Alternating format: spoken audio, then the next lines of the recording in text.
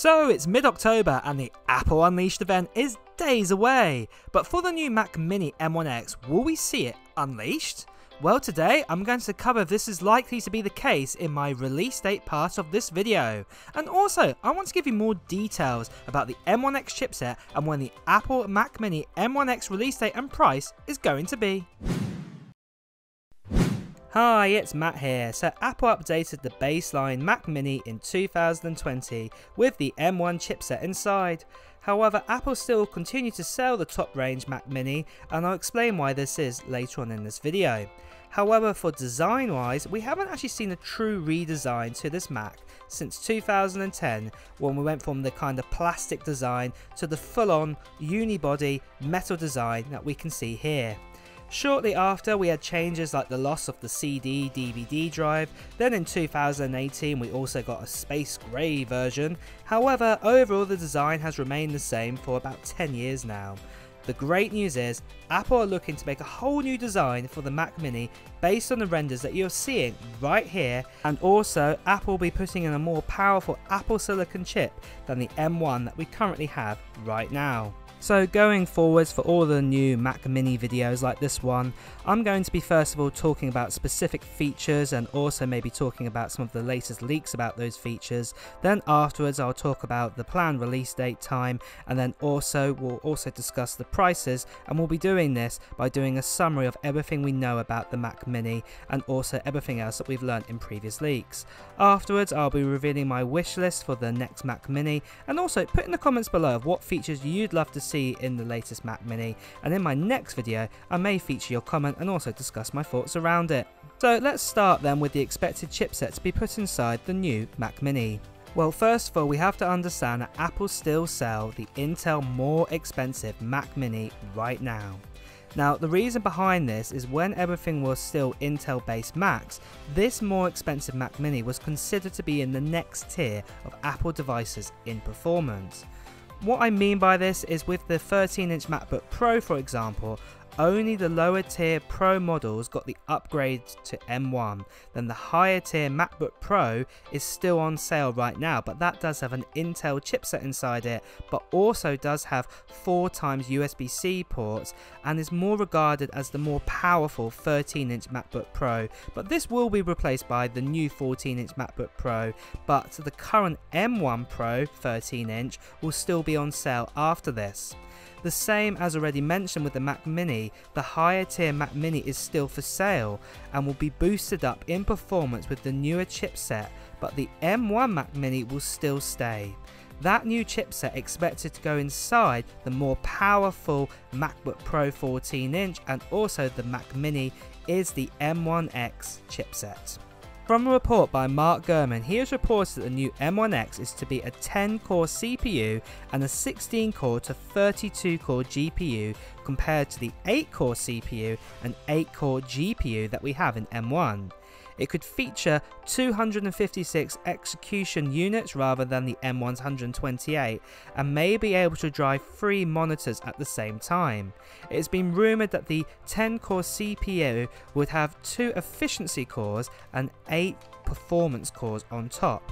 At the end of the day, by buying this next tier of Mac Mini, it's more designed for professional creators and developers, so to have less efficiency cores, it would be better to be like this, due to the type of users who will be using this Mac Mini. So a quick note, with any of these leaks, even up to the new Mac Mini release date, that all reports and leaks are not 100% proof that they will come true, and that with the new Mac Mini, I can only present you what I've been told and shown. However, if you are watching this video, then you are as curious as I am in knowing what is going to be said about the next Mac Mini anyway. With that out of the way, here's a quick word from our sponsor for just one minute, and then after we're going to be talking about the release date, the summary of everything we know so far, and also the price of the Mac Mini. So then guys, just quickly, this channel got over 260,000 subscribers and I announced who the winner was for this brand new iPad Pro M1 and do check out my video on my channel of who this iPad Pro is going to. But the great news is guys, I am doing another giveaway and it is for this. It is for a brand new iPhone 13 Pro Max 128GB model in the Sierra Blue. and I'm going to be giving this away to one lucky subscriber when we get over 300,000 subscribers. And just like the last giveaway, what I want you guys to do is put down in the comments below of what Apple Gear you're planning to buy in 2021 or maybe into 2022.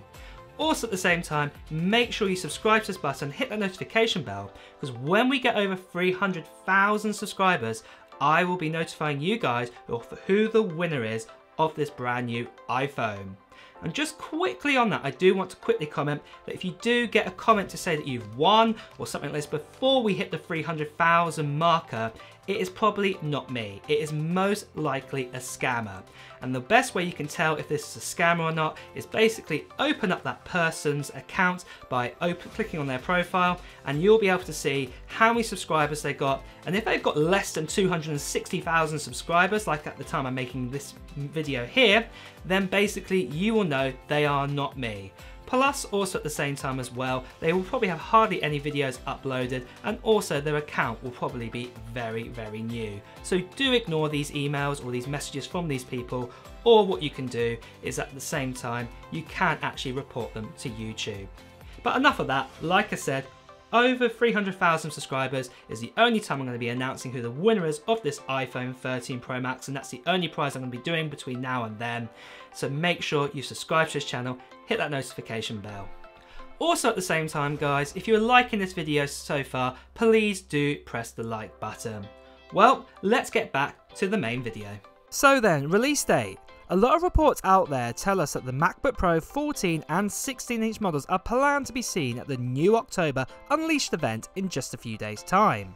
There are reports that there is also a possibility that the new Mac Mini M1X will launch near the same time, but there are still some doubts. There is a possibility we might not see this new Mac Mini until early next year at the spring event in 2022. But still, more leaks are favouring a release at the upcoming Apple event. If this is the case, then we believe pre-orders for the new Macs will start on Friday, October 22nd, with the Macs in people's hands a week later on October 29th.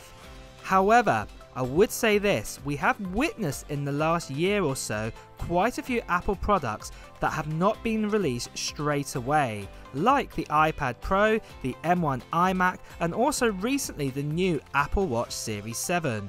All three of these were released over four weeks later after the Apple event that they were announced at. One last point to talk about for these new Macs as well is a lot of people keep referring to the chipset name as the M1X. However, there actually hasn't been a single report to confirm this is going to be the case. So Apple may call this chipset the M2 or even a totally different name altogether. But until the official name is revealed, in this video, I'll refer to it as the M1X until we have confirmation of the name. But back to the Mac Mini's release, it is possible we will see this launched at the new event, but do not be surprised if it's not seen until 2022. However, the moment we hear of any more updates to the release date, I'll be updating these videos with everything we know. But moving on, let's do a summary of what the 2021 Mac Mini is expected to give us and the price. So as I've already said, a lot of these features and specs are subject to change, but one thing we do know most likely what is going to happen with the new Mac Mini M1X is we're going to be getting a brand new design as you've been watching in these renders here. It's going to be a slimmer Mac Mini and also one of the big top features is it's going to have that new MagSafe power connector on the back similar to the 24 inch iMac that we have right now which just pops straight out so that is really really cool. On top of that as well, inside this Mac Mini, we're going to have the ability to choose from 512 to 8 terabytes of SSD storage. So just to make that clear, that's 512 gigabytes, 1 terabyte, 2 terabytes, 4 terabytes, and 8 terabytes of storage. Then on top of that as well, it will have that brand new M1X chipset inside it, and this will come with two efficiency cores and eight performance cores. We're also expecting this chipset to appear in the likes of the new MacBook Pros and also that brand new 32 inch iMac or iMac Pro. Then also for GPU, we're expecting either 16 or a 32 core GPU option built right into the M1X and that will reflect on the amount of RAM that you pick for the Mac Mini. And talk about RAM, there's going to be a choice between 16GB to 64GB of RAM. It's most likely if you choose the bottom range you'll get that 16 core GPU but if you pick the higher range you'll probably get that 32 core GPU but this hasn't been 100% confirmed yet but the second it will be we will update the sheet accordingly. Also with that design, what I talked about, we're going to be getting aluminium body frame around the edges, what's going to look really, really cool again, just like we have with the current Mac Mini. And then for ports on the back, we're going to be getting 4 times Thunderbolt 4 ports, and we're also going to be getting 2 times USB 3.2 ports, the usual sort of USB a design that we get right now or the usual USB type of port.